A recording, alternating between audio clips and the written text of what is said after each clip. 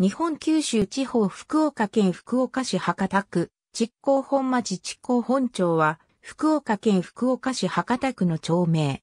現行の行政地名は、実行本町である。大半が海岸の埋め立てにより造成された造成地である。町域北部の港湾施設の総体としては、博多埠頭と呼ばれる。埠頭の部分には、東で隣接する沖浜町と一体となって、旅客を主とする港湾機能が充実している。また、町域南東部の福岡国際センター及び福岡サンパレスが近接地のマリンメッセ、福岡や福岡国際会議場とともにコンベンションセンターの大規模な集積地の一角を構成している。博多埠頭の基部にあたる町域南西部は共同住宅、事務所等も多く立地する。面積は約20ヘクタール。2021年5月末現在の人口は2284人。郵便番号は812-0021。福岡市の都心部とされる中央区天神の北側、博多区の北西端で海に面する地域に位置する。北西及び北東で博多湾に面して岸壁等を形成し、東で沖浜町及び岩木町と南で神谷町及び津島工事と西で中川を介して中央区名の津と隣接する。実行本町の西に接して中川が横断し、北部で川口部を形成して博多湾に注いでいる。都市計画に関しては、福岡市都市計画マスタープランにおいて、実行本町と隣接する沖浜城、天神周辺、博多駅周辺を核とした一帯の地域が都心部として位置づけられている。用途地域は一部の地域が準工業地域に指定されているが、大部分が商業地域に指定されている。また、不当の部分は用途地域とは別に都市計画法及び港湾法に基づく臨港地区にも指定されている。さらに、実行本町の一部に沖浜町及び岩木町の各一部を加えた区域約16.8ヘクタールの地区については、地区計画の区域として、中央不当地区地区計画が定められ、展示場、ホテル、会議場等のコンベンション関連施設の立地などにより、ウォーターフロントの交流拠点にふさわしい市街地の形成等を図ることが目標とされている。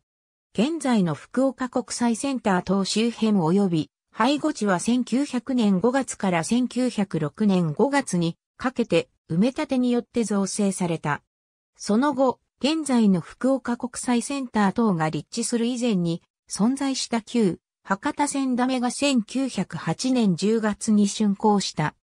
現在の不当に該当する部分の内ベイサイドプレイス、博多不当博多第一ターミナル等がある部分については、福岡市による1960年12月22日の埋め立て免許取得後、1961年11月30日に埋め立て工事が竣工した。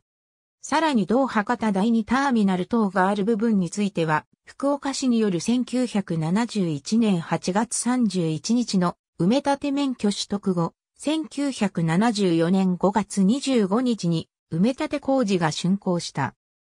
その後、船溜まりとして利用されてきた博多線ダメの西側部分について、博多港、株式会社が1975年11月に埋め立て免許の出願、翌年3月に免許の取得、及び同年5月に埋め立て工事の着手を行い、1977年8月13日に埋め立て工事が竣工し、同年10月22日に実行本町に編入された。その後、この埋め立て地に1981年年5月に福岡サンパレスが同年10月に福岡国際センターが建築された。実行本町の人口の推移を福岡市の住民基本台帳に基づき示す。集計時点は各年9月末現在である。交通に関しては公共交通機関としてはバス及び船舶がある。博多臨港線の廃線跡鉄道は通っていない。最寄りの駅は福岡市交通局が運営する福岡市地下鉄箱崎線の五福町駅であり、距離は同程で約 1.5km である。五福町駅付近のバス停から当該地区へ向かうバスの便がある。